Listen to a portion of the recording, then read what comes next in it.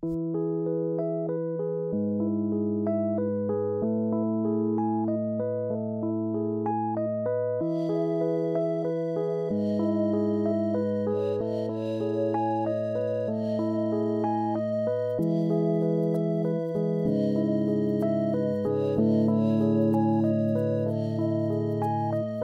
primeiro filme que eu vi é, foi Branca de Neve, com cinco anos de idade. Eu fiquei tão impressionada com tudo aquilo, aquelas cores, né? porque era Technicolor, né? ela é, é, espeta o dedo, e, é, sabe, tudo aquilo. Eu fiquei, eu, eu ficava sonhando com tudo aquilo e passei a colecionar é, é, figurinhas de filme de história de, de, de Cinderela, coisas assim.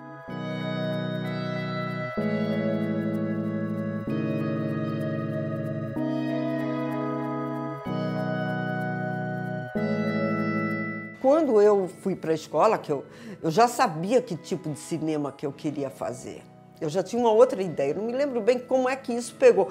Eu sei que com 15 para 16 anos de idade eu já decidi, quero fazer cinema, quero escrever, dirigir, produzir. Aí as pessoas olhavam para mim e achavam que era um sonho de criança, né? Quero ser astronauta, sei lá, entendeu?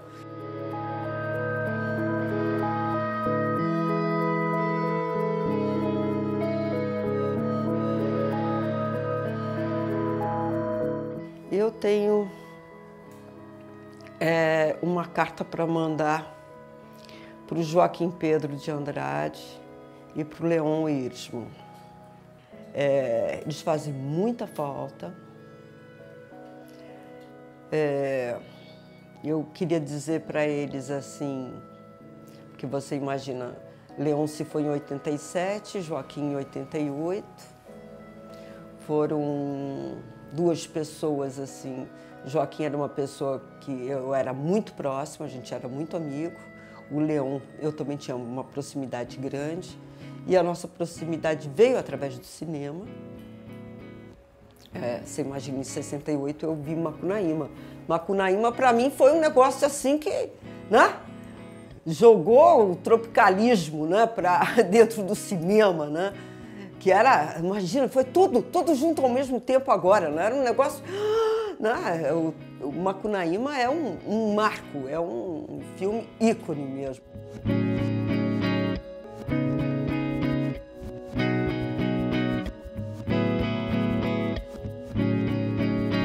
Eles não usam black tie é um porque é, a gente, eu em, aos 17 anos, 68, a gente encenava, eles não usam black tie do Guarnieri, né? A gente encenava como exercício né, de teatro. E ele é, é uma realização perfeita.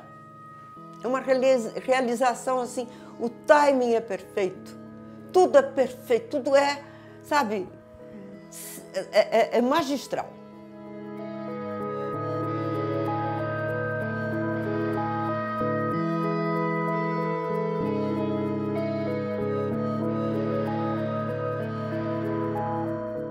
Eu queria dizer para eles que eu adoraria que eles pudessem estar aqui, né, para continuar nos presenteando, nos agraciando com o trabalho deles.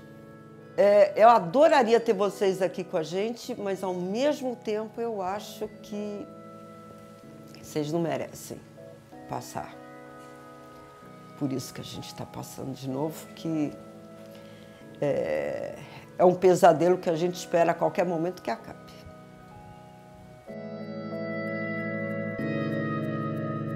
thank